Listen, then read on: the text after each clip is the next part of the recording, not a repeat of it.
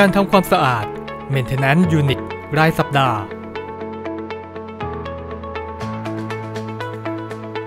อุปกรณ์ในการทำความสะอาด 1. อุปกรณ์เช็ดทำความสะอาด 2. น้ำยาเช็ดทำความสะอาด ขั้นตอนการทำความสะอาด 1. กดปุ่มเมนู 2. กดเลือกเมนู Maintenance และกดปุ่ม Enter 3. กดเลือกเมนู Clean Main Unit และกดปุ่ม Enter 4. กดปุ่ม Enter อีกครั้ง และรอจนเครื่องขึ้นข้อความ Open Top Cover to Clean Unit 5. เปิดฝาด้านบนเครื่อง 6. หยดน้ำยาเช็ดทำความสะอาดอุปกรณ์ 7. เช็ดทำความสะอาด ใบปัดและปลอก